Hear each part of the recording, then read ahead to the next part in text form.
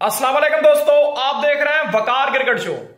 पाकिस्तान दुनिया की वाहिद ऐसी टीम है, जिसने टी ट्वेंटी वर्ल्ड कप का जो स्क्वाड है, उसको तो छोड़ो।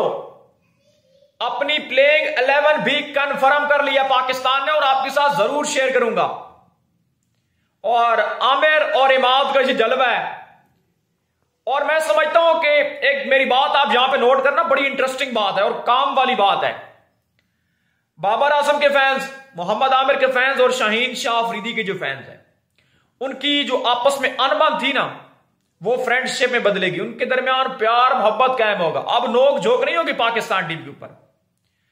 जो बंदे पिछले चार सालों से पाकिस्तान टीम को सपोर्ट नहीं कर रहे थे, या उन्होंने क्रिकेट देखना छोड़ दी थी, वो मतलब पीछे चले गए थे कि आमिर नहीं है तो देखने का क्या फ़ायदा? आमिर की बड़ी तगड़ी फ़ैन फॉलोइंग है टू बी ऑनेस्ट बहुत तगड़ी फ़ैन फॉलोइंग है। करोड़ों में इस बंदे को चाहने वाले फैंस हैं।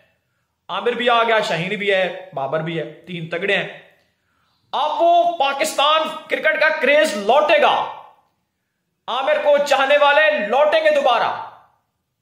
एक लेवल बनेगा पाकिस्तान क्रिकेट का, और ये सबसे बड़ी रियलिटी है। अब आते हैं पत्ते की बात के ऊपर, जो मुद्दा है हमारा, कि पाकिस्तान कैसे प्लेइंग इलेवन तैयार करके बैठा है। बाबर आज़म साइम अजूब आपके ओपनर हैं। रिजवान आपका वन डाउन है, आपका फखर चार है। उस्मान खान आपका पाँच है। इफ्तार चाचा आपका छह है। इसके अलावा शदाब आपका सात है, इमाद वसीम आपका नंबर आठ का है। नंबर नौ के ऊपर आपके पास मोहम्मद आमिर, नंबर दस के ऊपर आपके पास नसीम शाह और नंबर ग्यारह के ऊपर आपके पास शाहीन शाह अफरीदी। ये है वो बेस्ट और perfect T twenty world cup 2024 की प्लेइंग 11 जो इंडिया को भी फेस करेगी। इससे बढ़कर तो कोई नहीं है। आप सिंपल क्या कर सकते हैं? जो स्पेशली सिंपल यह है कि आप अगर एक एक्स्ट्रा फास्ट बॉलर खिलाना चाहते तो आप किसको बाहर करेंगे? बाबर, साइम, रिजवान जी तो जैम पैक है। उस्मान खान विकेट कीपर भी है ये भी आपको जेल में रखना है। इफ्तार के साथ आप छेड़छाड़ कर सकते हैं। क्योंकि साइम अजूब दो ओवर कर सकता है शादाब। इमाद ने अपने दो ओवर कंप्लीट करना, लेकिन मिसाल के तौर पर शादाब का छह दिन नहीं जाता, या इमाद का छह दिन नहीं जाता है।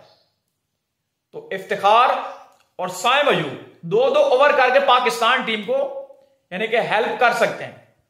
तो मैं समझता हूँ, बेहतरीन स्क्वाड है पाकिस्तान का। बेहतरीन टीम है, बहुत तगड़ी टीम है, और इस मरतबा हाईली रेट किया जा रहा है, और तगड़े चांसेस हैं पाकिस्तान के वर्ल्ड कप जीतने के।